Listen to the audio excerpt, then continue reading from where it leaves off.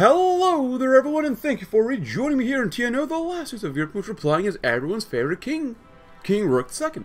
But look upon my work, standing at at least 6 meters tall including the pedestal, a huge statue is something to behold of. Made of the finest stone and granite in Siberia, Rook was rather flattered. The armor was quite detailed, using every accuracy of the medieval era. It even included a few jewels and diamonds in place carefully into the armor. Rook was quite sure it would become a, a staple piece of Kemerovo for years to come. Of course, the sculptor clearly took some artistic liberties. Rook often would quite not go into battle carrying a sword while riding a horse, no matter how much he wanted to. He was also not as muscular as he was in the sculpture, but still Rook was quite pleased. He liked how it was overly romanticized, and he had to make sure that the sculptor was well paid for his work.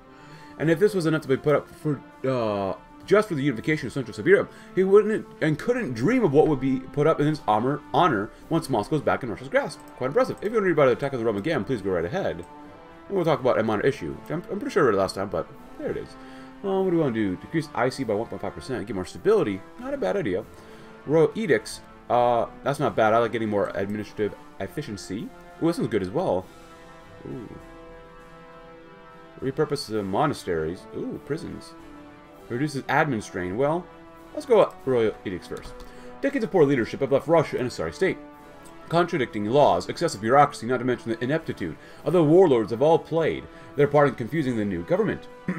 Nevertheless, King Rurik II is no stranger to monumental tasks and wishes to draft royal edicts. These laws will allow for the overhaul of the central bureaucracy, streamlining of Siberian administration, and hopefully pave the way for a new Russian empire. At least that's a hope, at least. At the very least.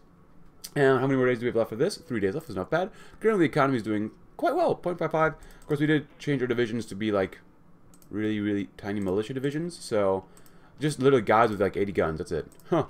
Not good, but we don't need that for now. We don't need that either. We're still trying to integrate Western Mongolia. We're still trying to connect, reconnect the roads in Norilsk, which would be very nice.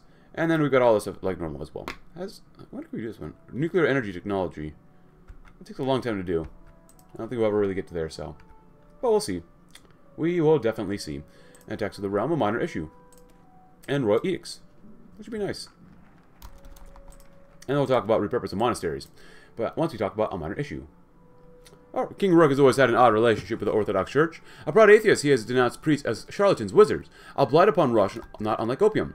Although it is a sizable faction within the Sobor calls for the complete destruction of all churches, temples, and organizations that undermine the king's authority, certain nobles advocate for a more practical option, repurposing the buildings for more useful tasks, namely, border churches will be militarized and converted into barracks, and the basements turned into arsenals, thereby making the building a village blockhouse. Temples within the safety of the kingdom can become prisons for unending streams of criminals, but a minor issue. Another day, another heated argument in Zemsky Sobor. What was once thought to be a minor issue has escalated to become a notable verbal battlefield for the two wolves, Prince Yuri and Princess Lydia, to do battle on. to intrude upon the rights of the local councils will be tantamount to tyranny, no matter how small the intrusion. Oh, this is first. Yesterday may only be roads and telephone lines, but what of tomorrow? I wholeheartedly agree that the realm must be connected, but we cannot do without the express consent of the people. As always, Yuri was nothing if not passionate. His sister Lydia rolled her eyes, again with this talk of rights. Yuri, how tiresome. Perhaps you should also like to ask the ground if it would be okay for us to build on top of it. Maybe we should ensure that the God-given rights of the woodland animals aren't infringed upon either. Laughter could be heard among some of the council in response. Rook the second was distraught at the sight of his children arguing with each other in such a way, but did his level best to not show it. It was clear, however, that the two would not budge. Soon enough, the council would be soon uh, looking into the king to break the deadlock. We'll probably go, we shall pay heed to Prince Yuri. Changing the decor. Father Crow watched silently, his heart heavy, as the soldiers moved to pack his icons, Bibles, and other priestly items in the box present.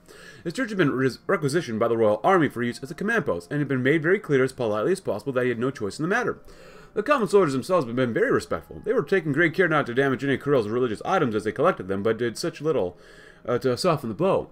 He had led this church and the small community around it for decades, doing his best to provide guidance and support to the simple yet pious people of the local villages. And now he was not sure if he would ever be permitted to return. He had heard from this fellow priest about this happening elsewhere, churches taken over by the military, who greatly valued the bell towers for observation and the cellars for protection. More than one have been destroyed by the enemy if and when the fighting had turned. More still, though left standing, were returned to their once shepherds in a terrible condition. He dearly hoped that it would not be the case for him. As the soldiers finished packing and carefully stacking the boxes beside the doorway, Crow took one last look around the now empty nave and realized how much larger it seemed when bereft of fixtures. Then he picked up the boxes, carried them to the cart that one of the local farmers had insisted he use for travel and departed. And as the bell tower of the church disappeared over the horizon, he could not lift stifle tears. A necessary sacrifice, but the all joking, all drunken son of fools and jesters. Deep through the Hall of Conquerors, past both woodland and farm, an emperor sat upon his steel throne, as the raging fires of the hearth and spotlight shone above the greater Tsar Rurik II. More so than the other squabblers and plotters throughout the vast Russian lands, Rurik II, known as many moons ago as a marshal of the greater Soviet Union, bearing the name Nikolai Ivanovich Krylov, has borne the name of conquer past these frozen lands, allowing man, woman, and child to feast upon their glories and victories they've rightly earned, just as Rurik intends to do tonight. My lord, the guests have arrived, said the captain of the guard as the two Russian men bearing snow-laden coats walking in. One bore a steely set of glasses and a sharp mustache and goatee, whilst the others cared less for appearances, bearing grisly scars across an equally grisly unshaven face. The two Alexanders, greater than any great conqueror of Greece, and greater friends than any Tsar may ask of, cried the Tsar, as he hopped down the steps and embraced the two tightly in his warm coat. And the Tsar Rurik II was joined by Alexander Svetsov and Alexander Karzatsarev for a night of hearty laughter, belly-warming drinks, and glorious stories. It was true each of these men had to think consistently of each and every day, making plans centered around the very survival of their people, whilst the haunting poltergeist of a war long lost ago crept upon their shoulders, rousing them to an awakening each and every night as the screams of fallen comrades plagued them. But now was not such a night. No, now was a night to long for, one for laughing and loving friends. Oh, for the day where every Russian may do the same in the king of the people. A lot can be said about the Romanovs of yesteryear, that they were weak, indecisive, maybe even the biggest factor that led to the failure of the Russian state. However, by far the biggest failure had been their inability to connect with their own people. King Rurik, uh, himself having been a common man, understands the complexities of the modern age. The peasantry are no longer illiterate masses with minimal power, but potent tools for change. Uh, King Rook wishes to establish minor welfare programs, encourages his nobles to interact with civilian governments, guarantee property rights and safety rights, among other things. Much of Russia is still in disrepair. It's critical that the people of the land know whose side they are on. This is weird that they still have this for us.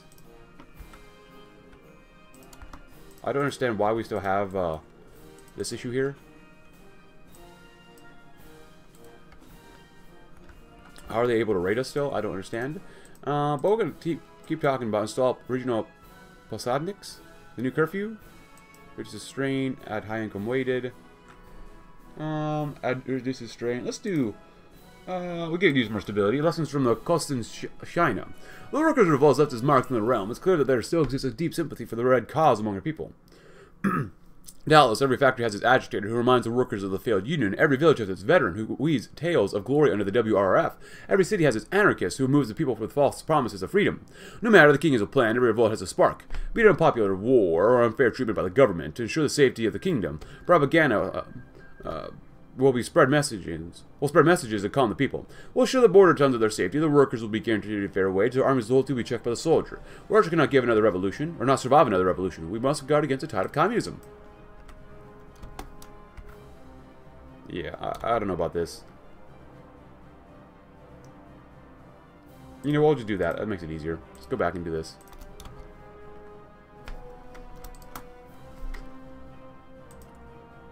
It's fine. We adding more to the depth? I mean, that's really weird that it still fires, but whatever. Alright. King of the people, and then uh, people share. It was always a good day. The delegates sought when King Rourke was in attendance at the meeting of the Zemsky Sobor, primarily because a decision would most likely be made, and there would not be simply an internal argument between his children. Today, they quickly found themselves uh, to be at least half correct. Work, after opening uh, the session, and thanking all those there, announced the immediate imposition of a number of welfare-based reforms upon the state as recommended by Prince Yuri. Though Yuri was quick to stand and thank the king for the foresight he so clearly possessed, little attention was paid to him. For all eyes were upon Princess Lydia, who, as her father's announcement had progressed, had become increasingly still, a motion they had learned was always followed by an interruption. An interruption that soon followed as her voice echoed through the chamber. That very concept was inexcusable, she cried, and even by recommending it to her father in the first place, Yuri had failed in his duties. The challenges facing the state were immense as she continued passionately, and the resources were highly limited. Diverting those to social endeavors instead of the military or other security forces was not only short-sighted, it was, according to her, borderline criminal. After a short while, and during a pause, Yuri calmed calmly asked his sister if she was finished. As she stared back at him, wide-eyed, he turned to King Rook, who only nodded as he looked at his daughter. And that was that. Lydia sunk back uh, down into her chair, defeated for now, but the look of fury in her eyes was unmistakable, and all knew that this decision was not, could not be the end. Could any other response have been, been expected? if you wonder about a modern Oprichnina, Shinina, please go ahead. But, uh, Ruskaya Yuri proposed to return the Ruskaya Pravda to the kingdom, originally a legal code used by the old Rus, ensuring the health of the common folk and stabilizing feuds between the nobility. Naturally, this code would need to be brought up to the date. Stipulations include a fair work treatment, an overall of local courts, police sensitivity, the abolition of capital and corporal punishment, the abolition of any existing slavery or involuntary service, increased equality between genders, equality between nationalities that constitute the Russian kingdom, a right to free speech and assembly, provisions for landing peasants, inheritance regulations, stabilization of crown authority, and the abolition of organized religion organized religion, and greatly increase the influence of Prince Yuri, which is already pretty high. And then, yeah, there's a strain. Peace in the kingdom? Um, yeah, why not? Or Nightingale come again. Ever since Princess Lydia been installed as the governor of Tomsk, the city's hospitals and healthcare infrastructure has been seen much needed attention. Not only has Princess Lydia raised funding for hospitals and modernized much of the previous infrastructure, but a mysterious woman has appeared. This nameless woman has been aiding hospitals and tending to the wounded and sick on the street nights or the streets at night. Many citizens of Tomsk attribute the facts of this woman to the kind actions of some good Samaritan, but in reality it's simply not the case. The people of Tomsk do not see behind the curtain Lydia has established. The teams of paramedics, par medical mercenaries, and patrolmen working in tandem to locate and treat those unable to reach hospitals. They do not see the many messages. Lydia sends monitoring their progress and success, and instructing them on how to more efficiently perform their jobs. The people of Tomsk remain unaware of how much effort was needed to hide all this from their eyes, and all in the interest of giving them their beloved heroine. The uh, mystery remains unsolved, and the people of Tomsk seem to content to leave it that way. Belief creates the actual fact, and for the first time in over half a century, there's a peace in Russia. It's finally beginning to dawn upon the peasants that they no longer have to be subject to famine, banditry, or looting by their own government. Women and children can safely travel between major cities. Bartering is usually being displaced by imperial coins, and notorious bandit nests have been neutralized. The clouds feel less heavy, and the workers can truly appreciate the morning breeze, confident that their workplace will spare their life and limb. There's still the occasional complaint by some former priest, and every so often a village is awoken by the screams of a socialist being dragged off to prison, but the chaos that was the warlord era is now over, and a new age is coming. Great. North is coming along nicely. Anything else we really want here? Military industrial. I mean, uh, we want this. I definitely want projects military military industrial development. But anything like societal development, doesn't really look like it yet. Peace in the kingdom. Which is a great thing. Motivations are fine. Throw them in because you can. Um, weekly manpower goes up, which we don't really need. I like military base. A lot of military bases. We got a good amount of stuff here already. Initiate. Uh, this one. Uh, increase the state GDP. How is um, production construction looking? Well, military bases are what? We could use a couple more. Yeah. You know, I'll do it anyways. Why not? What about the new culture? Decadence is the bane of civilization. As the nation grows strong, it loses the old ways, forgets its roots and ancestors. The seeds of Russia were once planted by the Kievan Rus. Uh, fading memory preserved only in libraries. Uh, King Rook II wishes to remedy this disaster. Though the use of mass media and government contracts with, manu with, new with manufacturers, the old will become new. Architectural designs will try to mimic those of the medieval age. TVs will broadcast movies based on ancient epics. Folk music shall bloom to dominate the industry. Tales of old hags and three-headed dragons will enter the kindergarten curriculums. The noble houses will recover the flags of old. Officers shall be given ceremonial battle axes. Laws preserving the forests and the hills be put into place. The new kingdom will emulate the old one, which is a great thing. Now we're going to keep working on poverty, of course, as well. But now we got better equipment, which is great.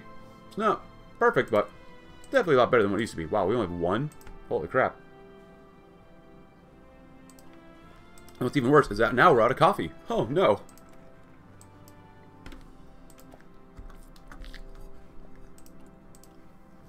Embrace modernity and tradition.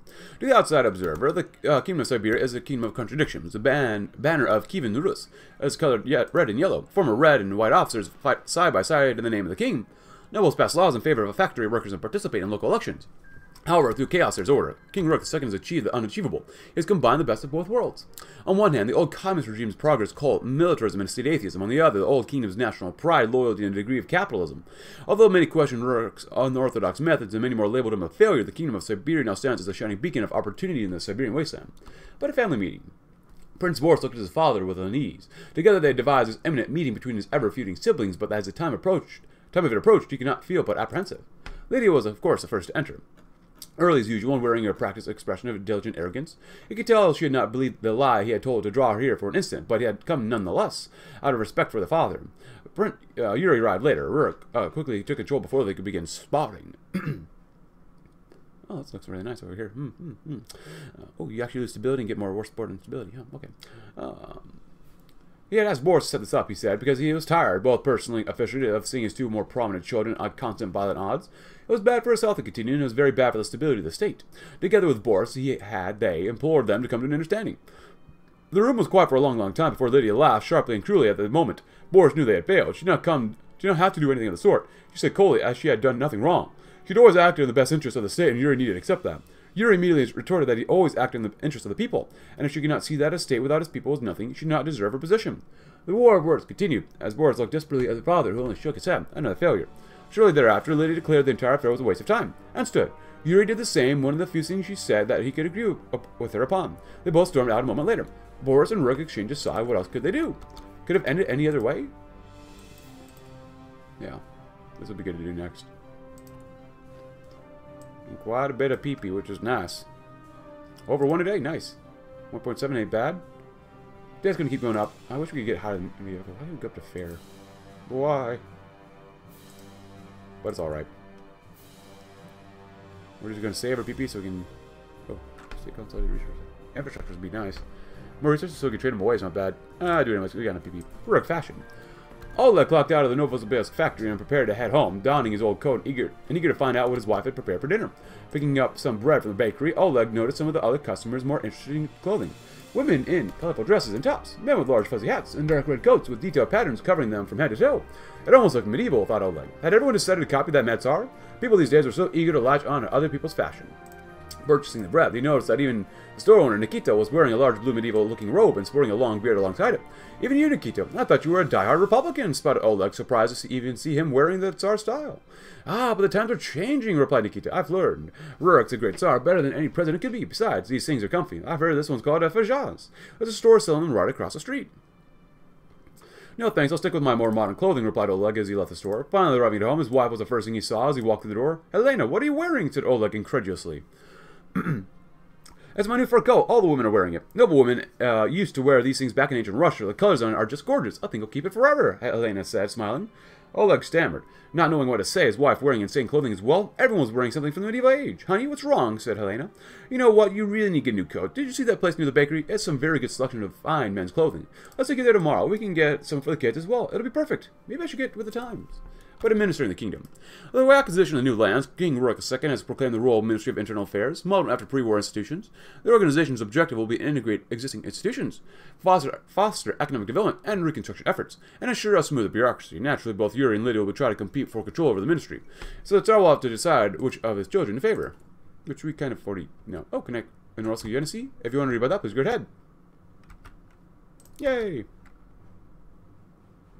Get more war which would be nice. We can weaken manpower too. Let's really hammer home industry right now, though.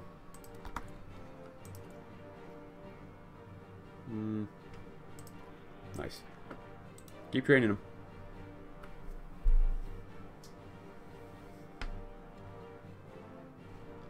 Yeah, TNO moves much faster if you just start your computer up and just only play TNO, do nothing else. Royal Court.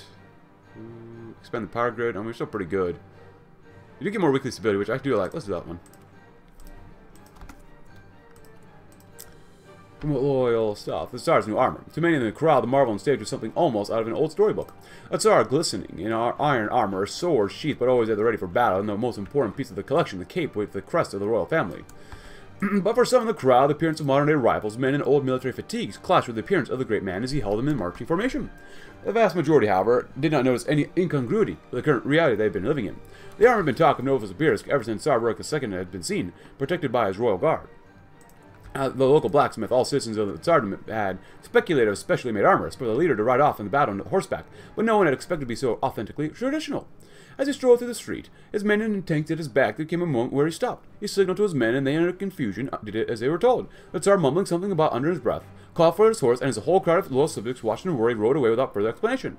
The day afterwards, the Tsar gave a decree that he had a mystical experience, and was to be left alone, as he needed time to understand and contemplate the reason for my feelings that day. The armor was never seen again. Perhaps he wasn't feeling well. But if you're wondering about loyal Bulgars, or Boyars, please go right ahead. bureaucrats from the Union. Prince Yuri had decided to exert his influence over prominent officials and nobles to expand the Union's power. The Ministry of Internal Affairs has only so far accepted bureaucrats with extensive connections, thus limiting public representation. The aristocrats currently command the ministry and have been focusing down their efforts on private enterprises, while leaving the rural villages out to dry. By reducing application requirements, officials can be recruited from unions directly. Additionally, this greatly expand Prince Yuri's power base, and give him virtually complete control over administrative affairs outside of Kemerovo.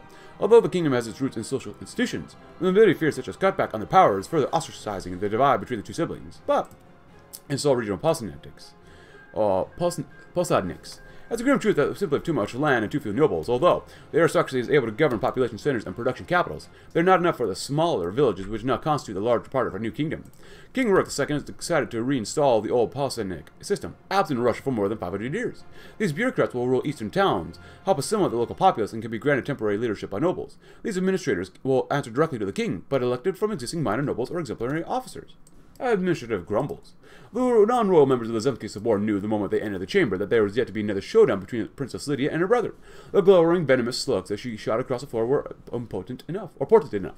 They were not disappointed. The item on the agenda concerned the recruitment restrictions and desired qualifications for state bureaucrats, primarily, as it concerned their social status. True to his roots, Prince Yuri favored relaxing or even eliminating them altogether, both in order to promote social advancements as well as to connect the ordinary people to the government in stronger fashion. At that, Lydia responded with her usual cutting, derisive laughter. The people, she proclaimed, were unreliable at best and insurrectionists at worst. Bureaucrats should be handpicked from the aristocracy, she argued, in order to ensure that both they owe their, owe their loyalty to the institutions of government and were likely to have sympathies with the revolutionary elements. The debate continued as most expected. Yuri called his sister a tyrant, and she called him a fool, with the epithets only escalated from there and those in attendance, silently counting the minutes where they would once again be free, unwilling to place themselves in the line of fire. Though all, uh, including the royal siblings, knew that a decision would eventually be made by the father. Prince Yuri made a good point power to begin to improve. Oh, yes, please. Meet your new owner, Posadnik Dmitry Guryev looked out the window of his new office with feelings of trepidation. He'd been rather excited about his election to the position, but when he arrived at the small town in the eastern reaches of the realm, he was surprised at the hostility he faced. The townfolk had been distant and cold best. As his car drove down the main street to his new residence, he had been subject to ridicule from the residents.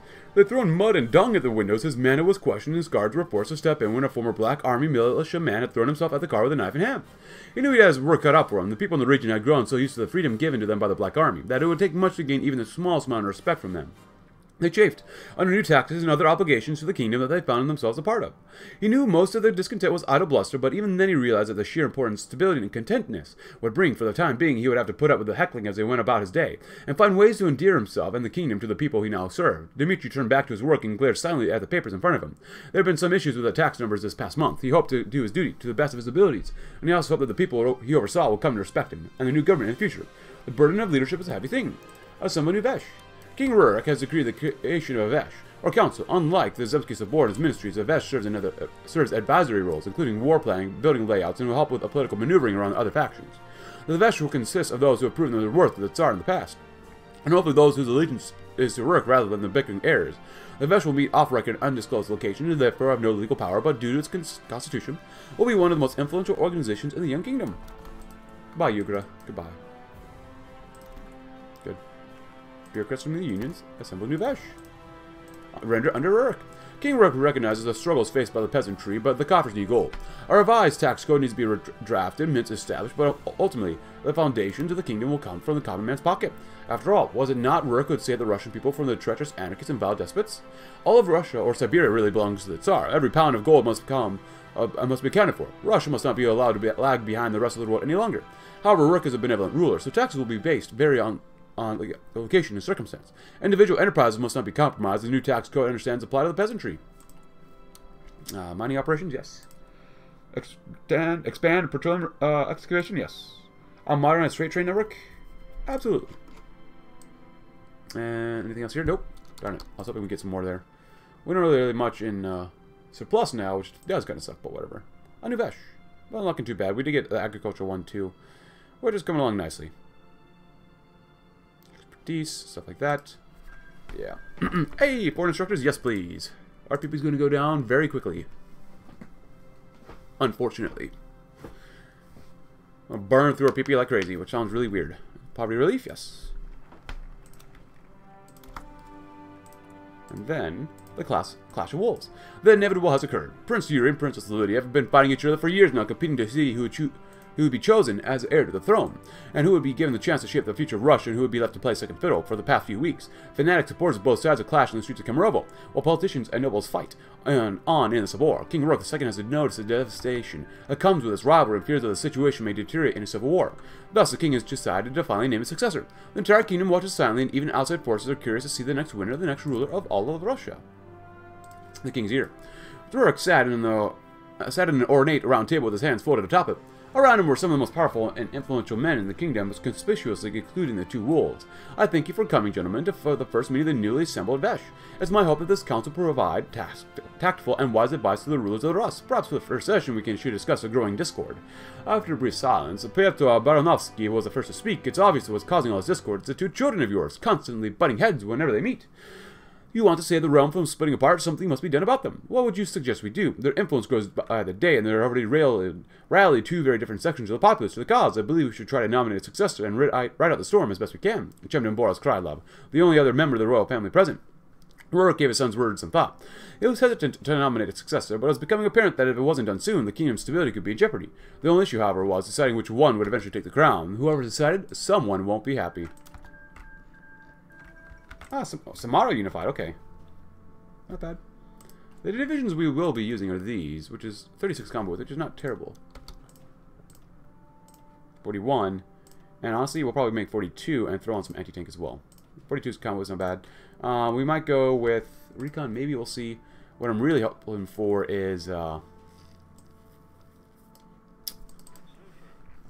planes. Not planes. Helicopters. Huh. Not quite planes. Cast agility attack. Nice. For now, I think 24 divisions is probably good enough. I can't imagine these guys had to have even more than us. They might, but for now, we're done. We have no yearly plus, which is not good. But whatever. Clash of Wolves. Anything else here? Nope. Alright. And then we'll start doing the economy stuff. The foundations of the kingdom. The once thriving heart of the uh, Russian industry is now under the watchful eye of Rurik II. But the sad truth is that the heart no longer beats. Years of strife and warlord conflict have. We rendered vast swaths of the region in shambles, and many of the factories are in too poor condition to be of any use to us. That has to change, and quickly. It'll take a great deal of sweat and toil, but the industry of Central Siberia will come back online one way or another. Once this arduous task has been completed, our kingdom will have in, in its grasp a weapon more powerful than any gun or tank in the world, an industrial backbone with no equal. The people share. It was always a good day at the delicate slot when King Rurik II was in attendance at the meeting of the Zemsky Sobor, primarily because it meant, uh, I've already read this one before. Yeah. If you want to read this again, please go right ahead. I read this earlier in this episode. Yeah. Okay, well, whatever. Fires again. There's not really much we can do about that, but okay.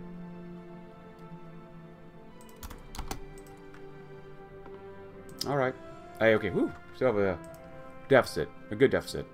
Well, good deficit. Yeah, that's not good. We're, we're adding to the debt. Five, exactly five billion. Wow. Oh. oh, never mind. Even more now. The spell. Die, you fascist pigs. All you cum scum should go to heck. He also shouts. and countless others could be heard from the two crowds facing each other. One unionist, one reactionary. Placards hit banner as they both came together, not in unitary unity or solidarity, but out of hatred and resentment. As the shouts of the crowds increased in amount and fury, the police standing guard looked at each other nervously. Much as they preferred not to intervene, they were being left with little choice. With one of them sent to get back up, the rest of the officers stood with watch, with grim determination, ready to step in and put a stop to things if necessary. Fortunately for them, backup arrived just in time, having their numbers doubled and being ready to go on short notice by Rurik's own orders. As they reinforced the officers already on the scene, the confrontation before them began to turn violent, with punches being landed and signs being thrown. At the sound of the whistle, the police descended as a group of the two crowds, and were dealing with minor resistance, they both dispersed. Even with the current clash taken care of, each officer thought the same thing. Things can't keep going on like this. And the White Wolf. Oh, do we have another one to do? Oh, oh! The Spirit of the Rus Reborn. Finally, the, political climate Siberia is stabilized. Kingsguard units no longer skirmish Yuri supporters in the streets, and the nobles are finally seeing eye to eye. A general census concluded that the workers are content and forecast no second revolution. King Rurik II has always some of Zemsky supported to determine the next course of action. To the east and west lie more pretenders, selfish uh, dictators, and, who's who, and those who cling to the failed past. The new Rus will strike outwards, confidence, security, and stability. The White Wolf. It is my great honor as Emperor and autocrat of all the Rus to name my son Yuri as Crown Prince. Upon my death, he shall become your rightful sovereign. Within an instant, most of those who were present among the Zemsky Sobor erupted in applause. Prince Yuri, now heir to his father's legacy, rose from his seat. As he stood, silence once again washed over the room, and the entire council turned their attention to the new crown prince. At such a sight, it was hard for Yuri to avoid getting emotional. I'm deeply honored to show your by your show of trust, father. Rest assured, your legacy shall not be withered away from your passing. Um, I will ensure that all the people of your realm are treated fairly and with the respect they rightfully deserve. Together we shall work towards a more just kingdom and a brighter future for all of Russia. The applause resumed and more ferocious than the last time. Ryura can help but notice that even those who remained silent before had joined him had joined in. The crown prince looked at Lydia, who had not had so much as moved a muscle since the announcement. Her expression betrayed a deep anger, a fury so intense it could not help be expressed through words. Lydia suddenly locked eyes with her brothers, and Yuri went cold. Her gaze pierced directly into Yuri's soul, as they're almost murderous in nature. Turning away from her brother, Lydia got up from her seat and left the council chamber. Most were so swept up in the festivities that they had neglected to notice the departure of the princess. Despite his victory, Yuri can help but feel some lingering regrets over the feud. Lydia's cold glance had, the, had told the crown prince all he needed to know about how his sister felt. All hail Crown Prince Yuri! Remove two wolves. Oh, we lose political power now. God dang it. Sucks. Good Friday Agreement in Ireland, which I need to play them again because I did screw them up when I played them the first time, so... I'll play Ireland again someday. Not any day soon, but someday. Happy 1966, though, everybody. Yearly deficit. God dang it. Yeah, 24 divisions is good enough for now, especially once we actually go to war. We're going to need quite a pocket of extra money. Um, pocket. So, we'll see. Are you struggling against the free aviators, guys? They literally have no divisions, man. Yazov, please. Please. Advanced developmental subsidies. Ooh. I like that one. Nice, good. Even better. Oh, is that the free aviators? No. Oh! Wait, the South African Wars could come to a close. The Union of South Africa finally defeating the OFN Provisional Government of the Congo and they're out. What? Wait, what? They defeated the... Okay. Alright then, hello, hello, hello. I think these are still glitched and bugged. I could be wrong. Maybe except for Angola, the Angola region. I don't know, I've never played them. Least not yet. I'll play them eventually. Fortified Sibgrad? A quiet moment. Yeah, sure, why not? Establish reliable power supply? Yes, please. Invest in summertime ports? Yes. And then connect and expand the resource fields? Yes. Rook stood by his uh, bedroom window, looking over the city of Kemerovo. The sun was beginning to set, the sky a blend of soft and orange and blue. The sun began to sink below the horizon. Rook reflected upon his rule. From the pit of despair, given Russia hope, bringing light to a country adrift in darkness. His rule had not been peaceful and had not been perfect, but he had achieved a great deal. The sun was halfway below the horizon, the orange sky turning to red, and then red fading to purple. The first star was beginning to shine down from the heavens, outnumbered by the lights from the city below. The king grew weaker with every passing day, and he needed a cane to move about his palace. Rurik knew he would not live to see Moscow freed from the Germans who enslaved his people. He would have to leave that duty to his successor, his heir, Prince Yuri. He knew that they could succeed. He believed that he had just prepared them well. His child would lead his kingdom to greatness and avenge the humiliation the motherland had been put through. Nikolai Krylov chuckled, knowing that his children and the rest of the nation were so attached to the Rurik ideals, the mask he had eventually become. The sun was now below the horizon, night had fallen over the motherland once more. King Rurik turned away from the window and returned to his desk, for the king still, still had much work to do. Only the darkness, in the darkness, can you see the stars. Slowly improve poverty rate? Yes, please. Work programs. The years of fighting across Central Siberia was brutal and heavily destructive, and many towns had been reduced to not much more than smoldering ruins. Even several months after the fighting, much of the damage from the wars is yet to be repaired. Thousands are without homes and out of work, and the situation could grow out of control if nothing else is done. Our king, ever considerate of his people's woes, has a solution to kill two birds with a stone. His specialized work program was created with the task of repairing any and all damage caused by the fighting that had gone without repairs. The towns and villages of Central Siberia will be returned to the former glory, and in the process we will provide thousands of people with steady jobs to put food on their table. Which is a great, great thing. A better deficit, good. Ooh, more admin, ooh. More taxable population, yes. Absolutely. Nothing else there yet, which is fine. Minus 0.25, not bad. French victory in West Africa. Well, let's see how much it collapses. Because East Africa has collapsed already. Yeah, it looks like a mess down here. Because then again, it's the Middle East. What do you expect? Sure, why not? Wow. Preserving the past, building the future. So who's actually down here? Golda Meir. Well, King Rurik II slowly passed alongside the large-scale model of the newly proposed renovations Kemerovo, making sure to soak in every detail. For too long, he had been forced to hold court in the frozen remains of a proper city. Should the vision depicted within the model before him be realized, Kemerovo would shine once more as a power, uh, center of power fit for the monarch of uh, King Rurik II's stature. Foreign Minister and Royal Architect Piotr Baranovsky stood in the corner of the room, looking on as his liege gleefully examined the model he put together.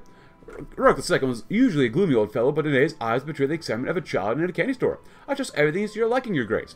Masterful work as always, Baranovsky, fleeting visions of Russia's past transplanted into the present. Rook II's gaze remained focused on the models he spoke, and he leaned in for a closer look. The proposed buildings were not unlike the kingdom itself, taking clear inspiration from the architectural legacy of medieval Russia, marred or married with a sensible modern touch. With walls of red and white crowned with a variety of garishly decorated roofs, the structures of the hypothesized, hypothesized city were a feast for the eyes. Rook finally managed to peel his attention away from the model and towards the architect. Marvelous, simply marvelous. When can I expect the revelations to begin, Baranovsky? As soon as we are able to, Your Grace. We just require You'll have it. Whatever it is, it shall be yours. So long as this masterpiece becomes reality. Building a mighty legacy one brick at a time. Building upon Bukharin's plan. For all his faults. Not everything that Nikolai Bukharin did was inherently bad. For one, his Siberian plan transformed Siberia from a desolate backwater into a formidable industrial powerhouse. The effects of his plan can still be felt to this very day and is the reason why the potential for industry is so immense. The years, unfortunately, have not been kind to Siberia, although the infrastructure established in Bukharin's day is still mostly operational. Has seen much better days. The second wishes to reverse the decay into that new to that end, a new expanded Siberian plan will begin. Has plans to see the kingdom's industrial strength will soar to glorious new heights. Great.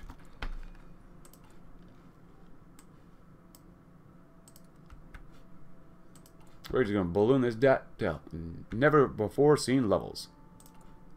Work programs. Minus 2.25, still pretty good. Hungry sets of Germany. Where are we at? 110. Um, still not going up fast enough. No. Ooh, basic literacy is not bad too. Our military professionalism is not bad. Yeah. A new currency. Ever since the fall of the Union, the ruble has become increasingly irrelevant, to the point of being worth less than toilet paper. Foreign currencies have begun to grow in popularity in various regions across Russia, and particularly uh, desperate places. the locals have resorted to a primitive barter economy, His Majesty's realm. The, in His, His Majesty's realm, this farce will not be allowed to continue, of course. The Royal Ministry of Finance proposed a radical new idea to help build the kingdom's economy to something resembling functionality. They wish to introduce a new currency known as a grivna, and all territory is currently controlled by the Rurik II. With the hope that it'll be able to stem the tide of foreign currencies worming their way into Russian society, the grivna, pictures a new currency for the new Russia, seems like a solid base or idea worth considering. Uh, my apologies. Interest rates will go down, growth will increase. Not bad, but get way more uh, inflation. A hopping hand. In an unlikely village of Siberia, torn apart by clashing. Soldiers during the unification wars and looted by fleeing bandits, impoverished residents that remain. Uh, remain stubbornly in their homes, shivering in the wind as if afraid they, they left the village itself would be destroyed or stolen. Considering some of the stories they had heard are even more unfortunate villages, it very might well be even with them there. They little food, less warmth, and no guns of any note. All that awaited them was a slow death. Suddenly began to hear the sound of boots on the ground and looked out of the windows with a mixture of fear and dread. Had the bandits returned, they had nothing of value left to give them. However, as the sound grew closer, they began able to make out shapes and the people they made up. There were no bandits, these were workers from the royal government, the ones that won the wars. Their fear was replaced by a new and similar one. Had taxes been increased? However, the new rivals greeted them amiably as they passed, and one man even ruffled the hair of a boy with his head sticking out of the window. As the villagers watched in amazement, these workers set about repairing the damage the conflicts had done to the village, repaired holes in the walls, and shattered windows. These men were not here to take from them, they were here to give them help they so badly needed for so long. Some of the villagers cheered as they were returned, or worked. Others wept with joy. Others thought the same. Luck had finally returned to their lives. Some semblance of hope had returned to their hearts. Perhaps Rurik does care about us after all. Well, we'll see. After that, we'll do Ro Royal University Charters, which would be nice. Pretty good. Yeah, I'm still concerned about this. But yeah, that's actually better. Oh, uh, no, it's actually surplus now. Not bad. Not bad at all. So we have to fight Irkutsk. It's going to be kind of a pain in the butt. We can't peacefully reunify with them. Honestly, will do okay, probably. Tomorrow will probably do fine. They're going to be a pain in the butt to try to kill off, though. They're definitely going to be a pain in the butt.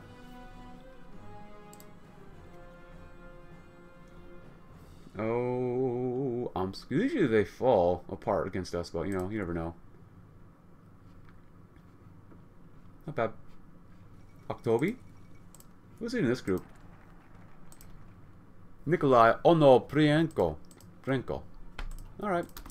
Uh, research facilities and whatnot. Or Royal University charters. The horrendous state the Russia has been in for the past decade has had all kinds of consequences for the millions of Russian civilians forced to dodge bullets and artillery shells as the warlords selfishly fought amongst themselves. However, now that Rurik II has restored peace to Central Siberia, there may be yet a glimmer of hope for its unfortunate generation. The king has thoughtfully decreed that the royal universities are to be established in every major town currently under his protection. These esteemed centers of learning will provide education to all of Rurik's subjects and give the youth of Arsha a chance uh, that they hadn't had in years, the opportunity, the opportunity to receive a proper education. There goes Lithouse. Political thought. I mean, I like weekly stability. Yeah, you get more, um, war support, maybe? Um, manpower. More weekly. Eh. Yeah, I can do it once, why not? We could use more war support. We could always use more war support, right? Right. After this, after you get all the industry stuff done, they won't start making like helicopters and stuff and really focusing on them. Or maybe not. Maybe we should just go ahead after this one. French community? Yeah, after this one, let's just go start getting some helicopter stuff done. I want some attack helis and better transport helis, so. Nice. Siberian wealth, knowledge of Tomsk. Oh, rapidly improve, yeah. Ah, even in the darkness of this warlord era, the intelligentsia of Tomsk have somehow managed to maintain a highly sophisticated society where art and science have thrived long after the collapse of the Soviet Union. With the scene now under Rurikid II's control, hundreds of highly intelligent individuals are left wondering what their place will be within His Majesty's realm. The expertise of these wise men and women would be a great boon to the royal cause, and it would be a massive waste to not continue the patronage they once received under the CSR. The scientists that once worked for the Republic will be encouraged to lend their talents to us, and they will be allowed to continue their work without any interruptions. The intelligentsia of Tomsk will know that they have nothing to fear from the new king, and the reestablished trade routes.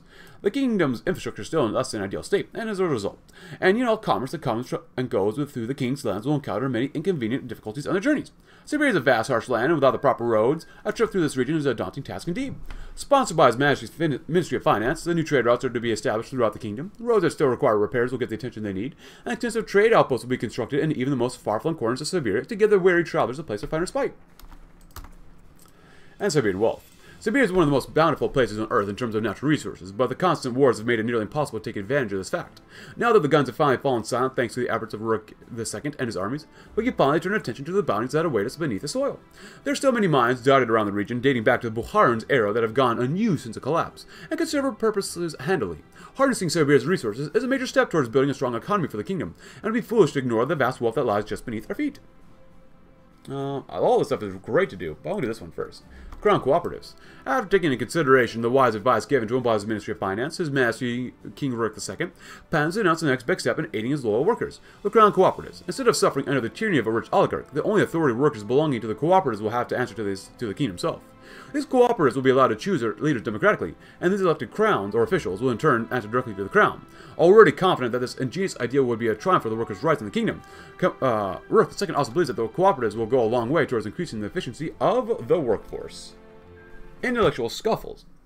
Rook sat at the head of the Vesh, filled with former members of the Tomsk salons, intellectuals, poets, professors, the most intelligent people of Russia crowded into one room. Rook was certain they would be of good use to Central Siberia. Gentlemen, said Rook, in a booming voice, I'm glad all of you accepted my accepted my invitation. As a great and kind leader, I'm uh, wise enough to understand that there can be much to be learned from your enemies. Why? shouted a man in a sleek suit, looking very different compared to Rook's ministers in large robes. You're insane, not wise. You declared yourself star after you had too much to drink. Rook smiled. At least I'm wise enough to defeat your armies in battle. The group grew quiet, almost hostile. As I was saying, I invited you here today for your ideas. Central Siberia is hard to govern, and our economic situation is less than positive. Your salons were among those who governed Central Siberia when Russia first fell apart. We are all Russians, and this is our home. And the room remained quiet until a man with uh, glasses broke the silence. Rook, we may have disagreements, but I can tell you are a caring man. If you truly want to make the lives of our people better, I implore you to consider greater welfare for the people. War has ravaged Russia, of course, and they need hope of a better future. Who needs welfare? shouted a man, a small man in a tie that reached down to his waist. We don't have the money for that. What we need, or what the people need, is education. Only then they will be able to improve their lives themselves and serve the country. No man can just throw money into the air and expect the problems to be fixed. Another man, slender, slender and wearing a formal-looking hat, stood up. The people will not have satisfaction without democracy. As long as you continue to be a tyrant, Tsar, this place will only see despair. As the shouting match continued and more men began to speak over each other, Rurik was reminded of his children's own petty bickering. No wonder Tomsk fell. Its own government couldn't agree on anything. That's the least worth a try. The arteries of a nation. A large crowd gathered had gathered before Lev Voznesensky, who wore a practiced smile on his face while flanked by armed comrades. Did I bring to you, the people of Russia, great news? He proclaimed the great highway connecting Krasnoyarsk, Kemerovo, and Novosibirsk has of yesterday been completed. Rejoice, for now nothing will hinder the free movement of trade and of you, the people. The crowd murmured along, among themselves, though for the most part they seemed unsure what to make of the finished development. No matter. Worst comes to worst, I'll have to come around. After all, whether they liked it or not, the highway would play a large part of their lives from now on over the next few days. Traffic on the highway would increase at first slowly, then exponentially, with reports of booming trade arriving at Voznesensky's office. It was just as he had thought. With any obstacles removed from their path, people couldn't resist the allure of traveling elsewhere to sell their wares for more. It was astounding that the old government in Tomsk had never thought of this, but then he had never placed that much stock into them anyways. Yes, he thought, lighting a cigarette between his teeth, this was going to make a lot of people a lot of money. Most importantly, of course, himself. Long live the king that makes me rich. Which is great, great, great, great. Of course, we're still doing Siberian Wealth. We did read about Crown Cooperatives, which would be extremely important to do next. Um... More growth is great. I love industrial equipment. Industrial equipment or agriculture. Agriculture is where? It's not bad, but equipment. Well, let's do equipment next. We'll do that one, of course. Uh, industrial modernization is what we're going to do next after Crown cooperatives. And get even more growth. Yeah, more growth, please. Better poverty rate. Oh, yes, please. We have 21 production units, which is not enough, but whatever. It's never enough. Happy October, everybody. Happy 1966 October. A little bit of lag, but what else is new? There you go. Although our efforts to bring the factories of Central Siberia into the modern age were mostly successful, the fact remains that the equipment used in these facilities were woefully inadequate and no amount of polishing and ad hoc repairs will repair or fix problems caused by the unrelenting march of time.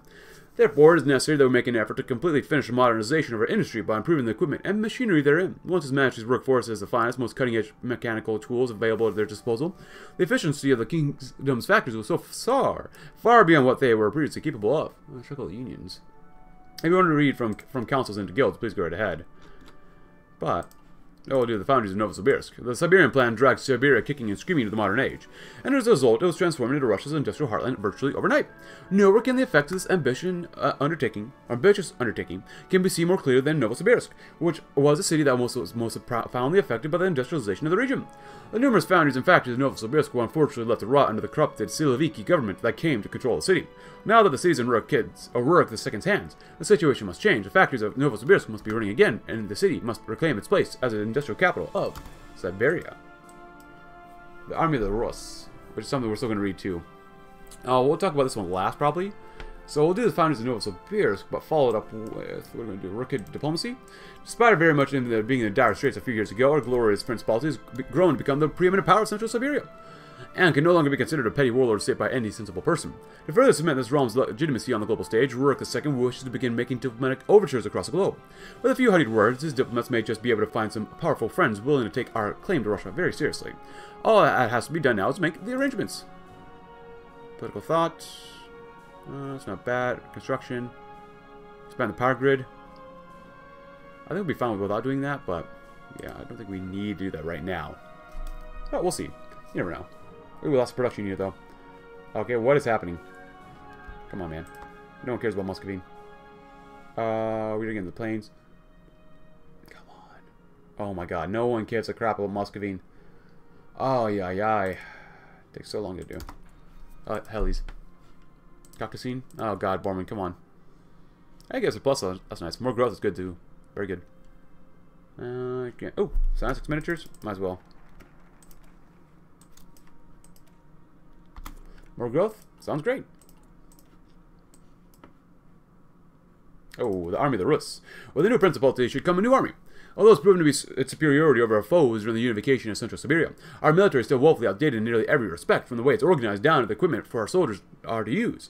Before we can seriously consider any kind of plans to reunify the nation, our military needs to be brought up to modern standards. This process will be long and not exactly easy, but a fully modernized military would be the envy of the king's many foes, and make reconquest all the more simple, of course. It looks like we got a lot of good stuff here, but it's definitely not enough. Honestly, we're not going to have enough for anti-air, so I'm just going to take it off now. Better do it now than later. Yeah, heli early helicopters 270 is not enough, in all honesty. Um, at least get one on these guys first. Yeah. And go up to five. Oh, there goes a Nega. Um, where are we at for agriculture right now? It's so close. It's best to wait, but I want the poverty effect now, so it's better to do it now because we'll have time to get it done later anyways. A meritocratic system. In decades past, officers got the command based on the significance of the background. Whether it was a noble blood, wealth, ethnicity, loyalty to the party, such foolishness was one of the many factors that caused the humiliation of the Russian Empire in the First World War, and then the Soviet Union in the Second World War. We cannot afford to repeat the mistakes of the past, and to do so surely invite disaster as it has before many times. In King Rurik II's newly reformed military, advancement will come from merit alone. Our officers will have all to prove themselves to be capable leaders on the field of battle, and only then will they be given the privilege of a promotion. With the aid of battle-hardened, experienced officers that guide the troops, our armies will undoubtedly march to victory from victory to victory. Yeah, I could definitely use that. Pretty much immediately. It, it's too slow for us to wait to get that one, so. So let's come back over here. Do that. Back to work. Ah, Gavril stood among a throng of his fellow workers, the scent of sweat and the sound of conversation hanging heavy over the group of fifty or sixty or so men. Hard hat on his head and hammer slung over his shoulders, Gavril squinted against the morning glare as he gazed upon the factory complex he had just worked in. It had certainly been refurbished, and this gave him and many others preparing to enter the building hope that the old mad king had actually kept his promise. Some. Four men out of blue view blew a whistle and a mass of working men suddenly shifted forward. Gavril found himself swept along the tide and into his new workplace, his heart full of op cautious optimism, as he and other workers crossed the broad threshold. That optimism was quickly crushed, as while the exterior had been decorated with fancy trappings, calling back to eras long gone with a modern, safe undercurrent, the interior of the foundry that wasn't that different from what it was before. The furnace had unexpectedly belched out flame like some ash cake dragon sent four men to the infirmary. A rickety stairway up to the second level that had been broken and repaired dozens of times, and with many of the coal workers' legs, ribs, or skulls. The busted uh, uh, ca casing, a ladle that periodically leaked molten metal, burned the flesh of the operator. It wasn't all bad, however. The doors, for one, could be opened from the inside in case of emergency. The wiring that kept the lights on was safely sealed inside the walls. There was a list of safety protocols, first aid, tips, or other useful information on every wall. But what relieved Gavril the most was the presence of enough gloves, tanks, aprons, and other safety tools to protect every man in the building. The machines may still be dangerous, but the madman has at least made a token effort towards safety still. Gavril did not feel much safer than he did before the city changed hands. Under the red flag, same as the old flag. Not bad. Uh, poverty is 56, 57% basically, 57%. Oh, academic base is about to go up. Research facilities about to go up. Uh, agriculture is very close to being to go up. It'll take two more months. That's all right. You know, it happens. Admin efficiency is going up quite a bit. Industrial expertise is looking actually very good. Equipment has shot up a whole lot, a whole lot more. It's awesome. Oh, we're back up to 21. Nice. Army of the Rus, a meritocratic system. Low royal inspection. The men stood in rigid rows, their uniforms clean, and the rifles resting in their arms. General Ivan Yakovlev's men were clearly attempting to make the best impression possible. General Yakovlev walked down the rows, discussing the state of his army to King Rurik. Back when you first donned the crown, your majesty, these men couldn't even line up straight. Now look at them, disciplined, clean, and some of the finest men east of the Urals. Yakovlev's words had some merit, with Rurik having just seen the men perform a training exercise. They performed admirably, a far cry from the ragtag, desperate men Rurik had left under Andrei's betrayal. Of course, there was still room for improvement. The equipment they carried was still outdated, albeit some progress there had been made in the last couple of months. Rurik, Rurik brought up these concerns among others, and Yakovlev largely agreed, yes. The situation regarding equipment and uniforms was less than desired, and the men could do lose morale easier than I like, but I'd say that we've greatly improved, Your Majesty. If you ignore the issue of equipment, in which my hands are tied, how does Your Majesty feel about the state of your army? I seem more disciplined. You've seen, done a lot of good work here, Yakovlev. With our eyes set upon seizing the eastern shores of the motherland, I hope you can continue to show such excellent results. I'll try my best, Your Majesty. The finest soldiers in all of us. Issue royal pardons. Ooh, army experience gain. Ooh, that'd be good to do. As much as I'm going to do with this one, but three new officers. The key to building a professional army lies in its officers, and we will need plenty of them as we continue to expand the military, luckily for us. There's a whole new generation of young officers just waiting to begin their journeys towards becoming the generals of tomorrow. Therefore, it is high time for the military schools of Central Siberia to open their doors once more, so that prospecting and recruits can be tutored in the difficult art of waging war. The new recruits are to be trained to the highest possible standard for the king's military officers, are to be the best of the best, consisting of the cream of the what Russia has to offer. Not only will this lead to a better military, but also may result in unorthodox new strategic innovations as well. Oh, maximum command power increase, starting level of new army leaders. Army XP gain is really what we're going after right now. F4 instructors, poverty relief. Yes, please. And then we're at what? Nice. Very good. Oh, was there another one here? Rocket training? Yes. Oh, whoops, I should have waited for that one. Crap. Ah, oh, crap. Eh, that's alright. Whatever. Agriculture will go up within the next month. I'll probably do rocket stuff there too. Combat rules, learn from... Oh, that'll be good to do. Learning from the Siberian Conquest. We'll do this one and the other stuff as well. So we got time. We definitely have plenty of time. It's only 67. We can start going to war in 69, probably about like April, Mayish. So it, it just it just takes time. Armor improvements, steady weapon designs. Uh, helicopters would be nice, even though we got that. Oh, that's not bad. Pride of the King, not bad. Not bad at all. uh, with deficit still, which sucks. Better agriculture methods, there we go. If you know anything about that, please go ahead for this bread we thank thee. Nice. Very good. So after that one, now we'll come over here and improve agricultural mechanization. Now, the kingdom's agricultural state is in a sorry state, to put it mildly. To put it another way, our farmers are forced to make do with tools and methods that would seem not out of place on farms from 500 years ago. While His Majesty is well known for his appreciation for Russia's ancient customs, some things are better left in the past if they're going to actively harm our agricultural output. The king believes that a full-scale mechanization of his realm's agriculture is in order. The process will no doubt be expensive, but any price is worth paying if it involves getting more food on the table faster. Our farms will become renowned throughout Russia for their efficiency. Unshackled unions. As an issue of the workers' rights in the kingdoms continues to surface, His Majesty has considered taking another large step towards creating a better environment for all loyal workers. The royal union is already established as a way to ensure the workers are not being taken advantage of while still maintaining royal oversight, are to be expanded far beyond the original capabilities. With the proposed reforms, the royal unions will be granted a great deal of freedom to run their affairs as they see fit without too much interference from the crown. With far fewer bureaucratic obstacles in their path, the king hopes that the unions will become more effective in their duties to the workers of the realm. Nice. State welfare, yeah. Science stuff. Oops. Oh, I should have waited. Oh, I should have. I really should have waited. Holy crap. That's my fault. I'm just like, yeah, let's get her done. Nice. Still have a good amount of political power, though. War production units? Nice. Oh, let's go with 6 there and go with 20. Actually, I don't see that. There you go. Overall, not bad. Uh, Diefenbaker regains power? Regains power, huh? Alright, well, whatever. I don't know anything about him, but okay. I'll do diplomacy. Overtures, emissaries of the rising sun. Uh, friends of the steppes. Current Kazakh government is not friendly to us. We should condemn them as an illegitimate government. Halls of Glory. Well, we'll do work in diplomacy next. And then probably learning from Siberian conquests. Which would be good. Also, since these guys only use guns, literally only use guns, we can just train them indefinitely pretty much. And then get more daily army XP. 0.03. We don't get a ton, but you know what? We need to work on our land doctrine. Learning from the Siberian conquest. The wars to reunify Central Siberia were brutal and hard fought, but His Majesty's armies proved their worth and achieved victory in the end. To better understand our own strengths and flaws, it would be wise to look back and examine the doctrines of both our own forces as well as those of our enemies. We will find out exactly what worked and what didn't, and once this is done, the King's military staff can devise new strategies and tactics built upon the best aspects of each. With advantages once utilized by our foes now assimilated into the Royal Army, we'll have made a good start towards reshaping the Central Siberian military into a fearsome force indeed. There is power in the Union. Rurik was woken up by a peaceful nap by the ringing of his telephone, residing on his table just beside his bed. Grumbling, he sat up and fumbled for a phone, lifting to his ear and sighing, Hello? Hello, Your Highness. This is Boris Kelchev. I spoke with you the other day. Rurik's thoughts wandered to a question. How did this man get his personal number? That question was answered quickly for him, however, as a union boss carried on for his, uh, in his gravely baritone. Your son, Yuri, gave me the number at the meeting. We're wondering if... Oh, if you're wondering. Uh, that's right, Rurik thought. He loved that boy and understood the cause and the pain of the kingdom's working class, but darn if he didn't jump the gun every time there was an opportunity to help. Too nice for his own good, muttered Rurik inaudibly. Oh, yes, yes, it was a wonderful meeting you. What are you calling to discuss? Well, really, I'm calling to thank you. I wasn't, I wasn't so sure how sincere you were when you said you'd be strengthening the unions, but your reforms have really paid off. The boss is treating us far, far better, and the accidents are down 28% because they're keeping the equipment clean and repaired. The union thanks you, King Rurik. That put a smile on the old man's face. Perhaps Yuri had been right after all. The workers are the lifeblood of the kingdom, and they're better off than ever. Showing, following a short exchange of goodbyes, Rurik put down the phone and laid his head back on the pillow, one thought in his mind. Maybe I should listen to Yuri more often. Maybe. Expand the shield maidens. In her new realm, every devoted subject is willing to risk their lives to fight for a better Russia. Even the women. It was no more apparent than during the wars in Central Siberia, when her specially assembled force of elite female soldiers, the shield maidens, proved themselves to be more effective than we could have ever anticipated. the implications here are clear.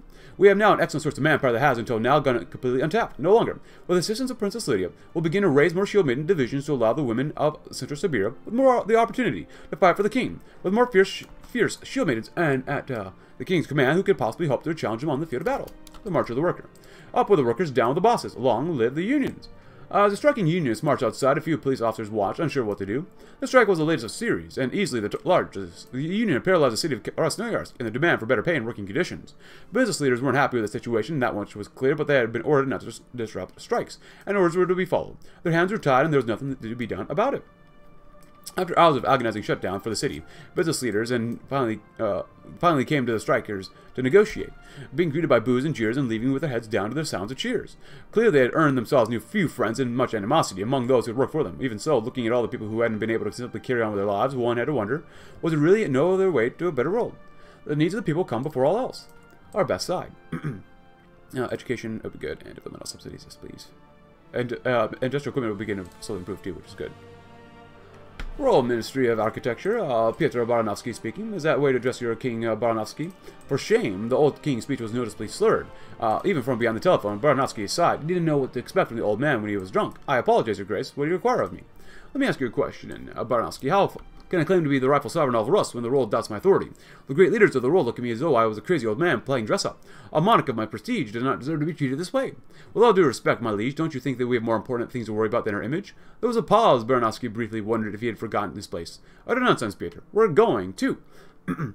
Settle this, you and me. Uh, you, you and I, what?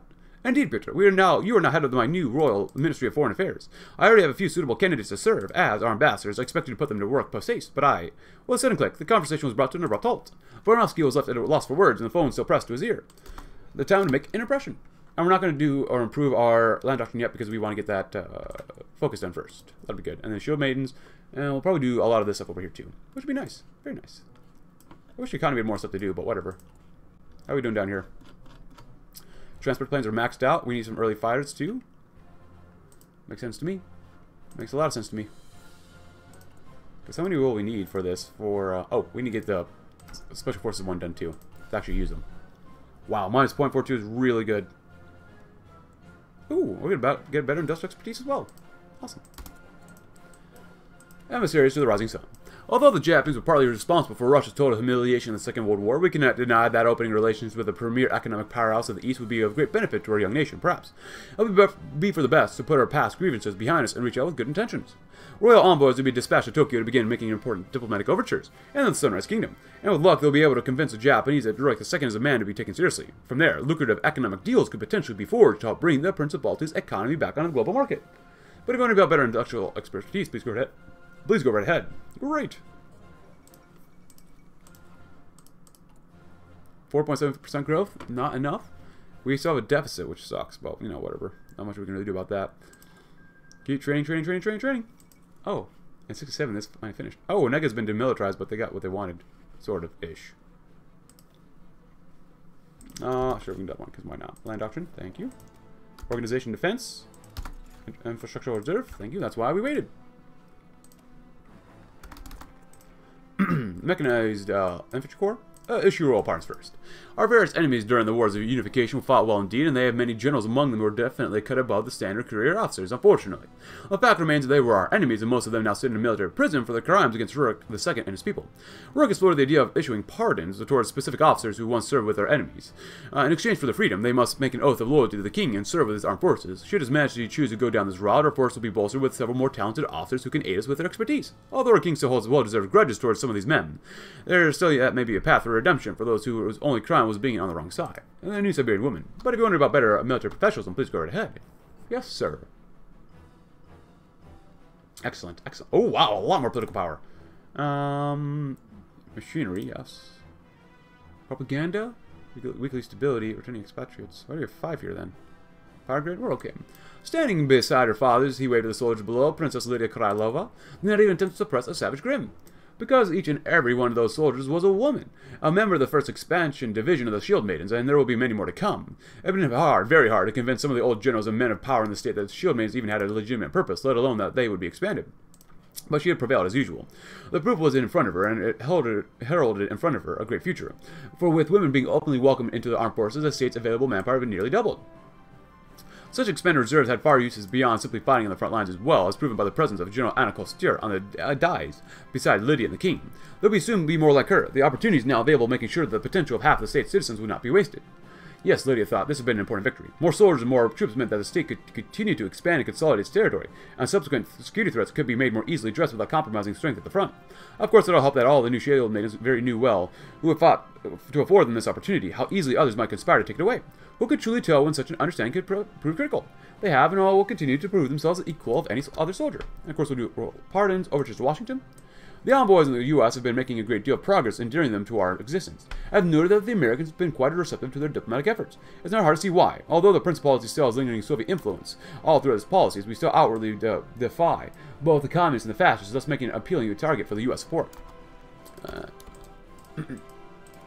The Royal Diplomatic Office is to instruct the envoys in Washington to begin opening talks to aim with the aim of establishing an embassy of our own on U.S. soil. Once they've accomplished this, they will essentially opened the door to mutually beneficial trade deals with what remains of the free world. Context in the East. Hidden away in the Foreign Office. Uh, Pyotr Baranovsky sat working at his desk, with his pen incessantly scratching against a piece of paper. He was not pleased when he heard a rude interruption of his important business. Looking up from his work, he was surprised to see that the envoy sent to Japan earlier that month had returned to one place.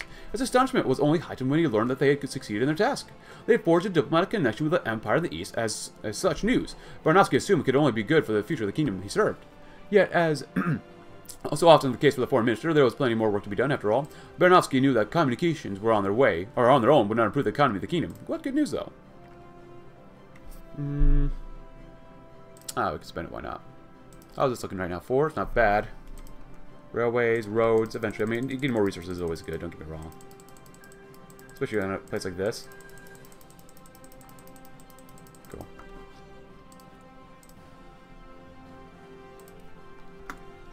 Failed in Chile. Um, how's supply around here too? That's something we want to think about as well. Not good.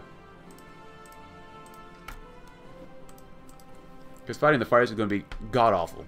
We already know it's going to be god-awful, and it's always god-awful. I can't wait to improve our administrative efficiency, though.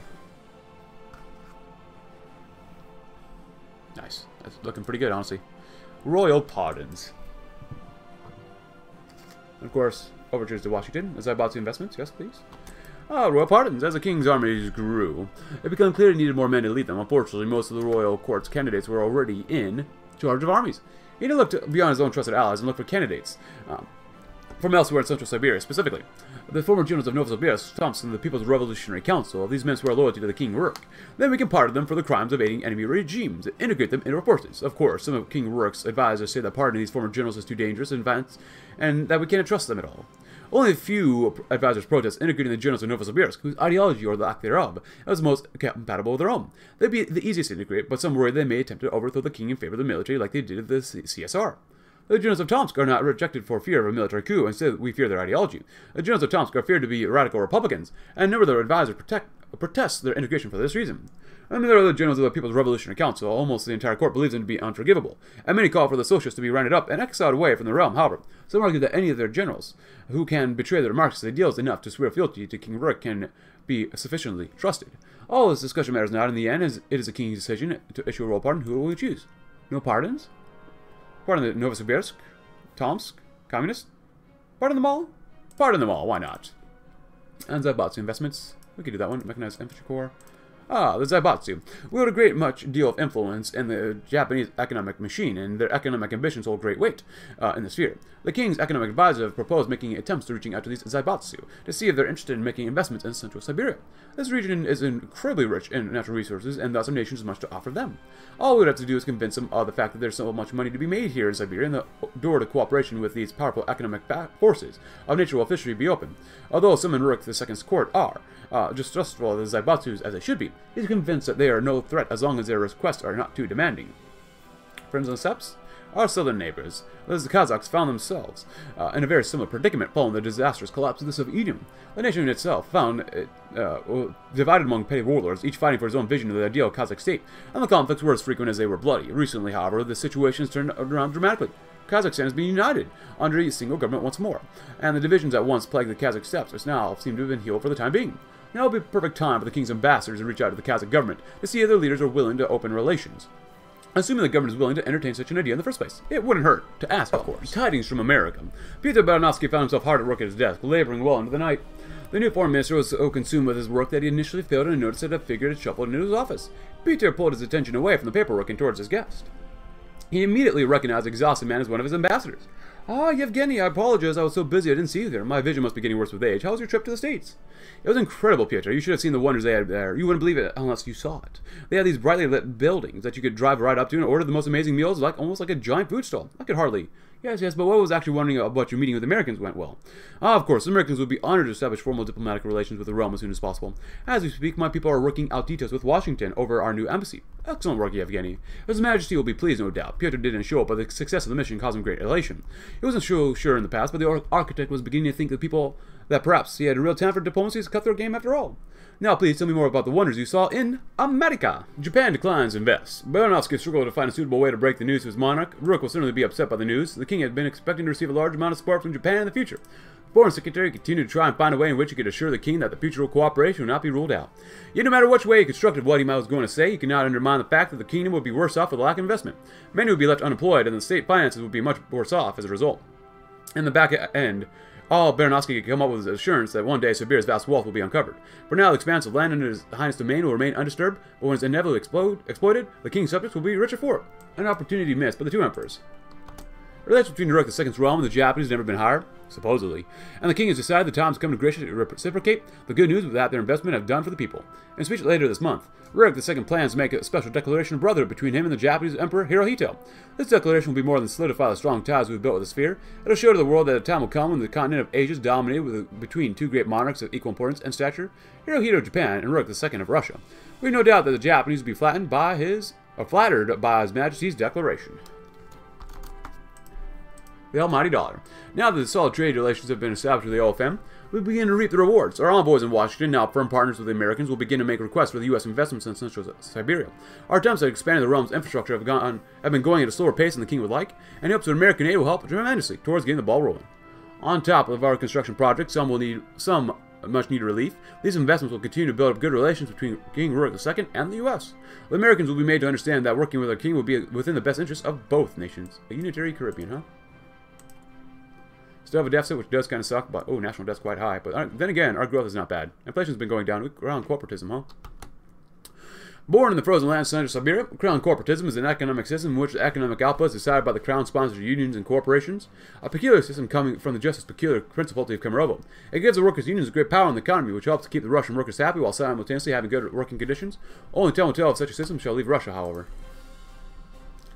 We're almost at 50% poverty rate. So close. Uh, research still is not bad. Agriculture is pretty good. Um, admin efficiency is... God, I want to get higher. Functional admin efficiency is really good to get. Really much better than what we currently have. Um, industrial expertise is okay. A letter to Japan. Following the request of his foreign ministry, uh, or minister, to send an official message of friendship to the Emperor of Japan, such a letter would help strengthen the bond between the two monarchs and open up a wide range of cooperation in the future, or so we've been told. His court members had attempted to hijack the writing of the declaration for themselves. However, he remained steadfast and made sure that all the work was genuine. He thought it was better to keep it uh, more authentic than diplomatic. Rourke found the start of his writing the hardest. He had no idea where to begin, let alone how to conclude the darn thing. Yet as that night went on, the bottle of his desk got emptier, and he realized that the words flowed with his pen with ease. By the time he scrawled his name at the bottom of the page, he was quietly impressed with his efforts. Such length and such style could have only been the work of his genius. He did not bother to really analyze what he wrote. Instead, he had sealed, sealed it and sent it right off and away. Baranovsky was quite taken aback once he learned the news that the king had sent off the declaration without first requesting him to read over it. He might have complained, but he knew better than to question his Royal Highness's judgment. The Foreign Secretary knew that all he could do was hope. Let's hope for the best and invite American experts. Although our workforce is well on the road, becoming quite capable on their own terms, it wouldn't help to help them along. America has long been renowned for its industrial prowess, and their experts are masters of the craft. It is fortunate then that His Majesty's diplomatic efforts at Washington have resulted in strong ties to the U.S., which opened several interesting avenues that were previously un unavailable to us. We can use our influence abroad and send invitations to various American specialists in the field of industry and economics to advise our workers and improve overall productivity throughout the realm, with their invaluable assistance. Central Siberia can once again become the industrial backbone of Russia. 0.36 is not enough. The Red Twilight. If you're wondering about that, please go right ahead. Deficit, of course. On my temporary tax side. We need more excise revenue, of course, but still. When do we get the next one? We have so much political power. We get almost roughly two a day. It's ridiculous. 0.44, 0.52, 0.08 a day, 0.0 some, 0.07 some every day. It's not bad. They declined. Disappointing news from the diplomats in the U.S. Despite our best efforts of, of our diplomats, our diplomats, Americans decided to decline a request to make an investment in the economy. While they assure us they are still committed to maintaining good relations, they claim that such an investment would not be within the best interest for now. God dang it.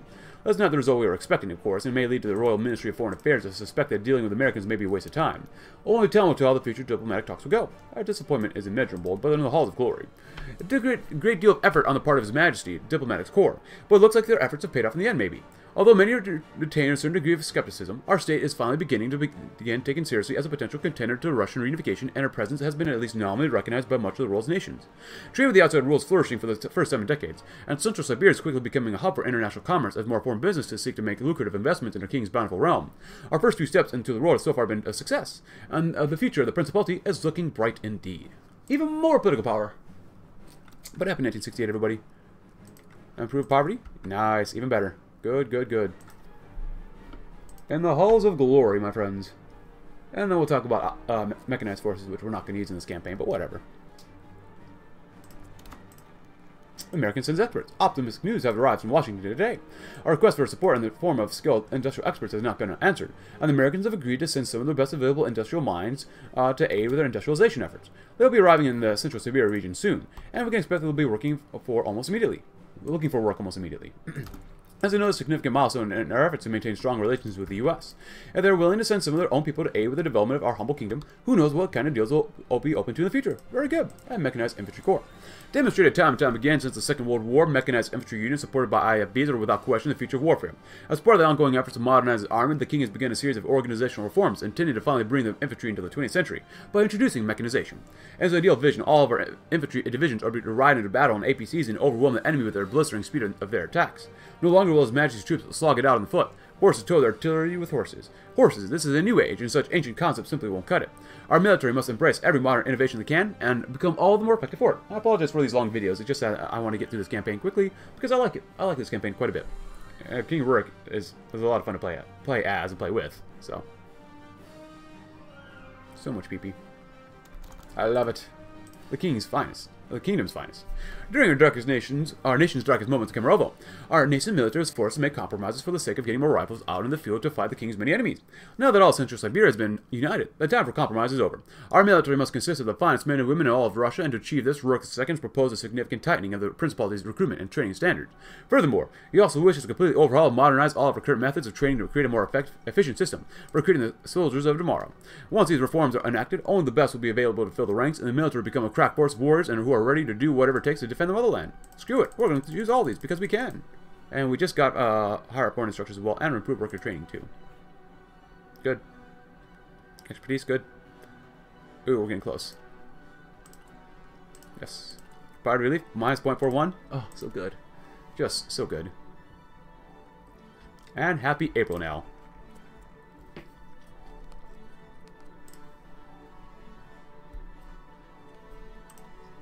Arm improvements? Um, sure, why not? We'll fund the Kamov Helicopter Design Bureau first. Jets and the like are all well and good, but our Air Force still lacks helicopters to support our ground troops on the ground. These fearsome machines can perform a multitude of roles, from transport to ground attack missions, and have become an almost essential part of any modern Air Force. Fortunately, there's one man who could help us fill this gap. Nikolai Kamov is a brilliant engineer whose specialty is designing helicopters. His design bureau sadly was vastly underappreciated by the previous government of Central Siberia, and lacked the money needed to move forward with any kind of projects. Rurik II wishes to generously fund Kamov's bureau so that he may help us with designing cutting-edge, modern helicopters for our military. Still more of a deficit. Um, I don't want her to growth, but what if we were to do this? We have the political power for it. We get quite a surplus. We get we get one percent less real growth. That was just shot up a whole bunch. Which is not great, but, you know, whatever. We'll see what we can do. Maybe it'll be good, maybe it won't be good. Of course, getting this one done is going to be... It's just so, so, so important. Rudimentary factory lines are going to be going, getting better factory complexes eventually, too. The Balkan's fleet. Our previous foes in Novosibirsk once commanded the most formidable air force in Siberia. With a fleet of aircraft that could rival even that of the free aviators, they caused us much headache during our bloody war to overthrow the corrupt Siloviki. Now that they've been defeated, their aircraft now sit unused in their extensive airfield, just waiting to be unleashed once again. It would be a waste to just leave all that valuable pre-war material to gather rust. As it happens, the Principality is in need of an air force, and these planes and airfields could fulfill the king's needs quite confidently or conveniently. An effort shall be made to renovate these facilities and make sure that the planes are still in working condition. Soon we shall have a fearsome air force of our own. More debt, so be it. So be it. Oh, that's really hurting us really badly right now. Well, not badly, but, you know, it's not great. 64, not bad. Primary schooling. Modern research facilities. Beautiful. Ooh. How are we doing with construction of everything? Transfer planes are looking good. Almost a thousand, which is very decent. Um, early fighters are coming along. CAS is coming along. It's not a lot, but it's still better than nothing. State welfare programs, even better poverty, more uh, reliability, and po better poverty rate. Increasing GDP by 5% is very good as well. To rule the seas, or skies. Finally, our own humble principality has an air force of its own. Now that we have a fully functioning air force, or air, air fleet, complete with newly designed helicopters courtesy of the Kamov Design Bureau, we have surpassed the old Novosibirsk government to become the true lords of the sky here in Siberia. Our planes will ensure the skies belong to King Rurik, while our helicopters will provide all kinds of exciting new opportunities for waging war from lightning-fast troop transport to raining hot death from upon the King's enemies. With such a dramatic advantage over our potential foes, victory is all but assured. Oh, this is too awesome. Even more political power. I'm meeting with Kamov, though. A call had come at about midnight last night, but rousing Nikolai from sleep, expecting some manner of emergency, but instead hearing Rurik II himself on the other end. Apparently, Rurik had taken an interest in his work with the Kamov Helicopter Design Bureau, and wanted to meet him the very next day, around noon. After an exchange of niceties, Kamov put Druk on hold while he scrambled in the wee hours of the morning to schedule a last-minute meeting with the king by the two. He failed to look or book any kind of meeting space at the bureau office, and said would be meeting Druk at his workshop. This was why, at noon, Nikolai Kamov was putting his papers in order and a model on the table in a dusty workshop to meet a gosh darn king on ten hours of notice. Whereas he made his last preparations, the door swung open and the old king hobbled his way in. Nikolai snapped to attention, but was quickly dismissed by Rurik. At ease, friend. I'd like to keep this informal. All I need for you to tell me about your wondrous flying machines. Nikolai raised an eyebrow at the term, but shrugged it off. The king had seen better days, surely, offering the king a, treat, a seat. Nikolai began taking his highness through the workings of the Bureau's latest design. Rurik was friendly and cordial, but quite frankly confused as a craft, as well as expenses. Whereas he explained almost every sentence, the king asked something absurdly ignorant, but Nikolai humored his questions with slight annoyance. Then, once done, awaited the king's response, who had been stroking his chin for the last few minutes of the pitch. Fine work, young man, Rook said to the nearly 70-year-old aeronautics engineer. Smiled, smirked himself, watching Nikolai's bewilderment. Anyways, I think your bureau will be benefiting of some funding from the crown. I'd like to put a few million rubles into this project. What do you say? Nikolai lit up, uh, drumming his fingers across the table with excitement at the prospect. Uh, uh, we would welcome it, sir. Anything else before you leave today? I think that'll be all good. Oh, well, that'll, that'll be all. Good luck with your flying machines, my friend. See new designs?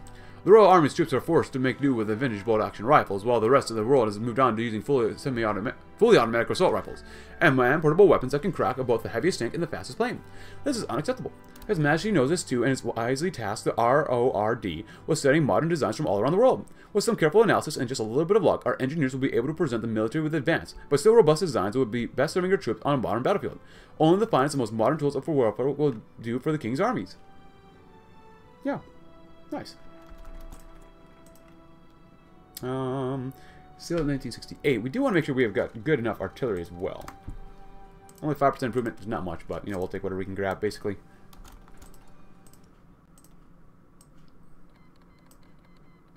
Go with one for now. Maybe two in the future, but we'll see. Education, yes. No cost is too great for us. Surplus is still good. Growth is still good. The civilian spending is the most uh, the thing that's hurting us the most.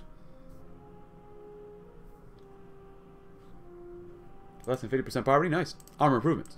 Our tank fleet is a fearsome force indeed, but without the necessary modernizations, they will be worse than useless in the coming wars.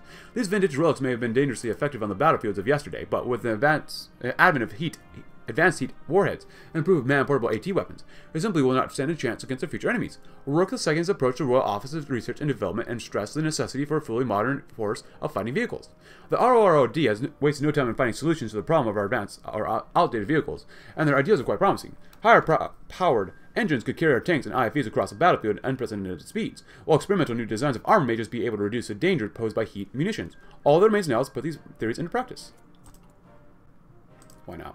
Might as well.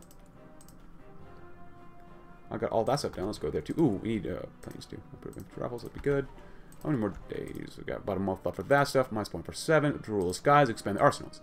When we triumphed over our neighbors during the wars of Central Siberia, the King's forces managed to secure control over significant important munitions depot at Akaban, Abakan. The facility is one of the largest arsenals of weapons east of the Ural Mountains, and for now is yet to serve a purpose for us beyond taking everything we can carry. This is about to change. His Majesty has ordered the Abakan arsenal to be completely refurbished and expanded to become a fully fledged weapons production center once more. Once it's operational, the arsenal's expanded facilities will allow us to produce more equipment for the troops even faster than before, and will ensure that every man and woman in the King's army has a rifle and plenty of ammo at their disposal. Yes. Increases GDP even more? That's something I love. Good God. Interest rates are 6.942%. Not good. The pride of the king. King Rook's uh, second reforms are finally coming to a close, and so far they seem to have been a complete success. The Royal Army is now one of the most elite, well-equipped armed forces in all of Russia, and will certainly cause rivals to go green with jealousy.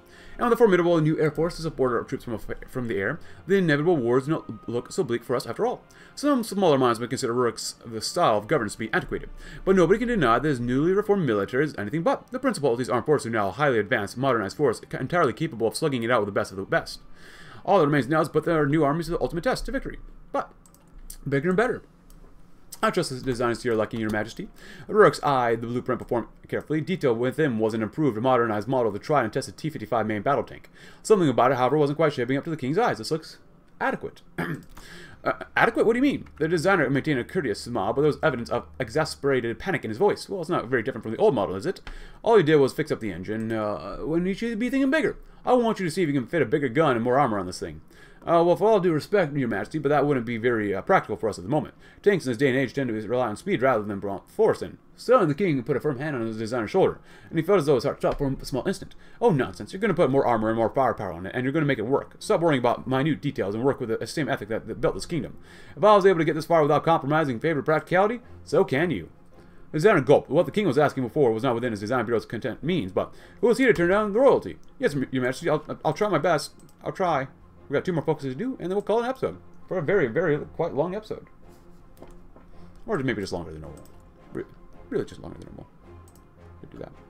Start working on some of the improved anti-air stuff. Uh, basic artillery is what we're going to need to keep. Civilian trains are fine. We should probably get some armor trains as well. And it's almost 1969. It's almost perfect for us. We'll go to war with these guys and kill them all off. We got a lot of transport planes, which is awesome. I keep forgetting to change it and get the special forces stuff done. Word for poverty. More, minus 0.45. That is just so good. It's just so good. Mm, seven. Not much there. Agriculture's getting faster. A tank, a, fit, uh, a tank fit for a king. The second looked on with childlike glee as a new and improved model of the T-55 rumbled onto the proving grounds. Despite the Design Bureau's excuses and objections, Rurik's ideal modifications had made it into the final draft, and now his creation was coming to life before his eyes. As he had requested, the vehicle was equipped with a larger 150, 115mm gun and rather characteristic char composite armor kits alongside the turret. The king turned to his son with a smile on his face. You see this, Boris? I told you to make my tank. Go look at it. Boris Krylov was much more reserved. It was quite an impressive vehicle, father, but aren't you concerned about the added price? The new additions aren't going to exactly be cheap. This again, those middle boxes are already ludicrously expensive as it is. A few more rubles aren't going to kill us. Rurik said, turning back to the view the tank be put through the spaces. If you say so. Anyway, on a more pleasant note, I've heard the tankers already beginning this thing a nickname. His Majesty's eyebrows, they call it. Huh. Rurik began to laugh. The name was no doubt referring to the bulky armored kits on the turret. Ha, huh, isn't that something? My legacy, my legacy, my legacy shall live on, even in the form of a tracked war machine. Only the best for armored fleets. I'll keep looking at this, man. Oh, went down actually a little bit, which is actually kind of nice. Debt is 11.37 billion. As long as you keep working it down, that would be the most important thing. Mass mechanization, good in modern agriculture would be better. Doesn't help us that much, but it does help us no matter what. There. Finish this one first. There you go. Radar doesn't help that much, but you know what? Every little bit helps. The rule of skies.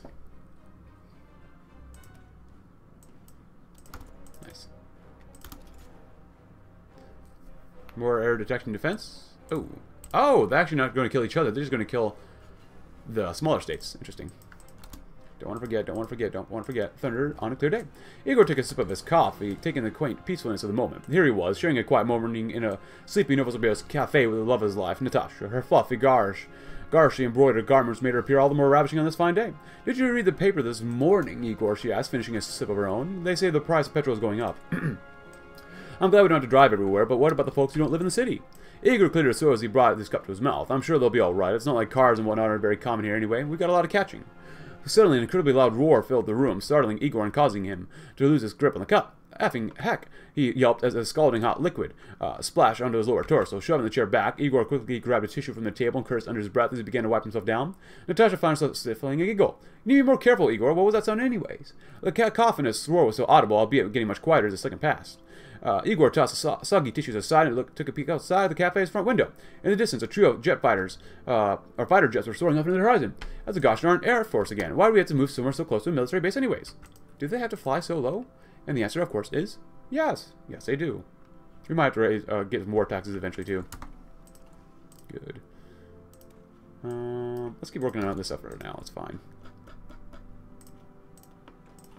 And read about the pride of the king of Rook's triumph. Less than 49% uh, poverty rate. Not bad. Reunification of Russia. We have to wait till uh, 69. So in a few months. And I'll do probably all that stuff off screen. Just because, why not? These guys are how thick? Relatively thick. Rook's Triumph. Has anyone seen the king? He was supposed to be here three hours ago. Yuri felt himself breaking into a cold sweat as he scanned the balcony for signs of his father. A massive military parade was being held in the capital today, but the guests of honor had yet to show up. This isn't the first time he's been late, Yuri, Princess Lydia called out to her brother. There's no need to panic. I'm sure he'll turn up at some point. Yuri continued frantically pacing, undeterred by his sister's words. No, he's been late before, but not this late. Where the heck is he? Sit down and stop worrying, Yuri. You're going to miss a parade, Boris Krylov pleaded to his brother as a loud rumbling became audible from the streets. I think the armored units are rolling out now. Look! Yuri turned his attention to the road below, where a column of tanks were making their way down the street. In front of the column was a particularly colorful and ornately decorated tank, and a familiar figure standing on top of the hatch, gleefully waving his arms. The prince's eyes widened as he realized who it was. The prince gave a sigh of relief and felt a cautious smile overtake his face as Rook II turned to wave at him and the rest of the spectators on the balcony. He really has gone mad, hasn't he? Yuri said under his breath. Deep down, he wouldn't have it any other way. His majesty leads, and we will follow. Which looks really great. But if you enjoyed the video, leave a like, subscribe if you're new, check out my Discord link in the description below, and I'll see you tomorrow. Want to reunify as much of Russia as possible. Thanks for watching. Have a great rest of your day.